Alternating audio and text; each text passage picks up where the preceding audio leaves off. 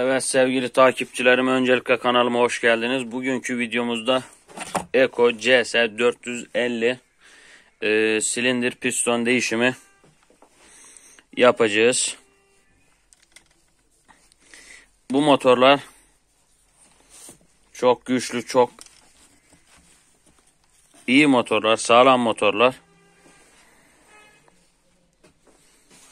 Yani çöp atılacak bir motor değil. Japon malı bunlar.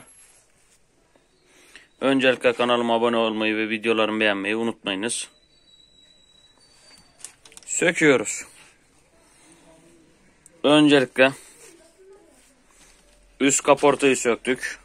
Sonra frendir, zincirdir, taşıma koludur, starterdir, kapaktır, yağ pompasıdır, zincir dişlisidir, volanttır, karbüratör, karbüratördür. Bunları çıkarıyoruz. Egzozu söküyoruz.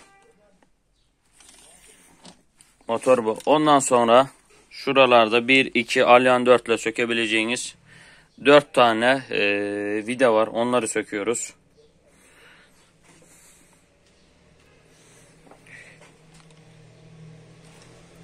Bu tarafta böyle. Şunları ben sökeyim. Ondan sonra videomuza devam edelim. Evet arkadaşlar o 4 vidayı söktük. Bu pistona piston kitleme takmanızı tavsiye etmem. Varsa plastik kitleme takabilirsiniz ama plastik olacak.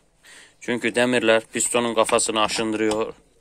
Gran kolunu bükebiliyor bazı motorlarda. Ben ip atıyorum abi. İşin acemiliğinden değil. işin inceliğinden bu. Evet tekerli olmuyor. Motor bu. Bunu güzelce temizleyeceğiz, yıkayacağız. Bu motorumuz pistonunu çizmiş. Göstereceğim. Nasıl belli olacak?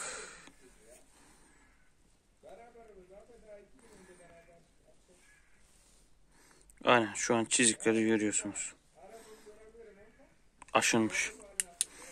Bu motoru inşallah piston kurtarır piston açacağız. Motoru bu. Ondan sonra şu arkada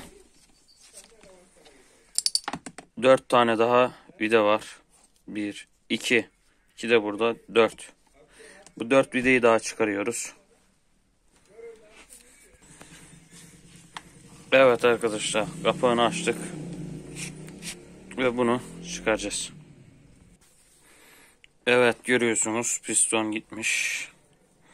Silindire bakacağız kurtarabileceğiz mi? Kanalıma abone olmayı ve videolarımı beğenmeyi unutmayınız arkadaşlar. Daha farklı videoların gelmesi için bol bol abone olun, yorum yapın.